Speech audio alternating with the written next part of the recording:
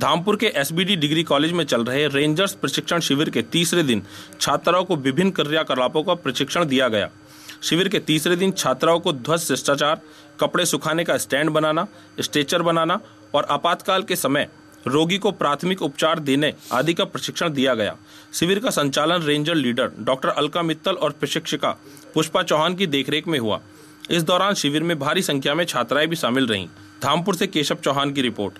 हम S college की छात्राएँ हैं और हम रेंजर्स क्लब हमने अटेंड करा है और हमने इन चार पाँच दिनों में बहुत सारी चीज़ें सीखी हैं, जैसे टेंट बनाना कपड़े सुखाने के लिए बनाना और स्ट्रेचर्स बनाना, किसी को जैसे इमरजेंसी में अगर हमें ज़रूरत पड़े उसको ले जाने की फ़र्स्ट एड कैसे देते हैं, पट्टियाँ बांधना और हमने बहुत सारे सॉन्ग्स भी सीखे हैं मतलब कैसे कैसे प्रकृति के लिए चीज़ें सीखी हैं, बहुत सारी। गांठें बांधनी सीखी हैं अलग अलग प्रकार की।